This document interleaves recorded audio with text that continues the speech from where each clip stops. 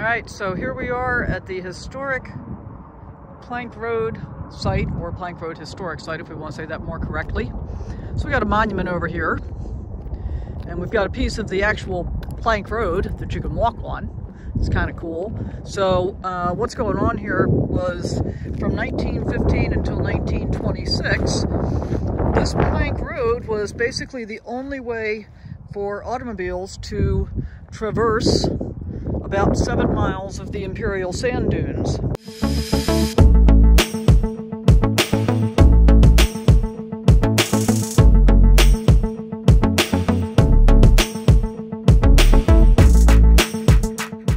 All right, so here we are at the historic Plank Road site, or Plank Road Historic Site, if we want to say that more correctly.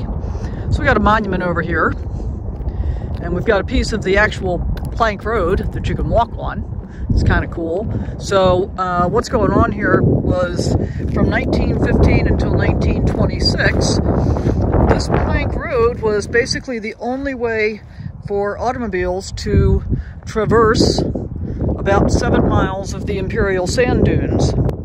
And so what would happen was teams of horse-drawn um, horse-drawn teams would move the plank road sections when they were being uh, overtaken by the shifting sand dunes. So apparently the sand moves a lot. And in fact, I noticed on my way over here, just on the road, there were several sections that I crossed over that were pretty sandy.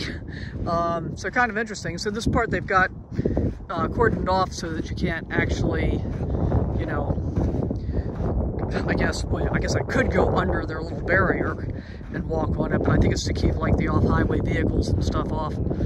So anyway, the uh, the plank sections were built 8 by 12 and there were a few sections where they would also be um, doubled up, you know, side by side so that you could pass. But I guess basically it was otherwise a one lane, one way road except for passing sections. So pretty cool.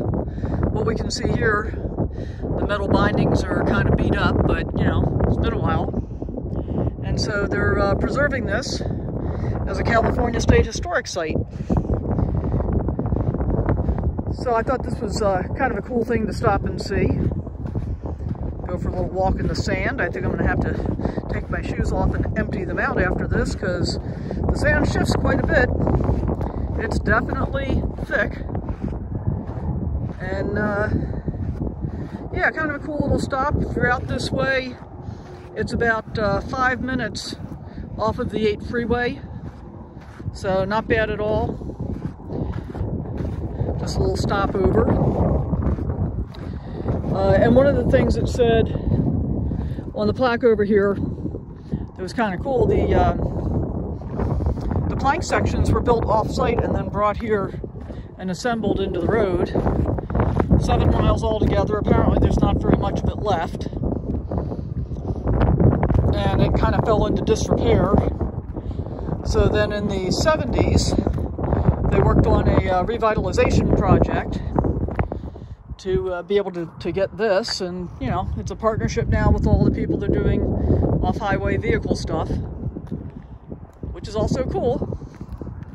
All right, we're to get back on the road and see where we end up next. Hey, thanks for hanging out with me. Hope you enjoyed this video. Uh, if you did, I'd appreciate it if you subscribe, hit that thumbs up button, and always remember to sally forth, live your best life, go out and adventure in whatever way works for you.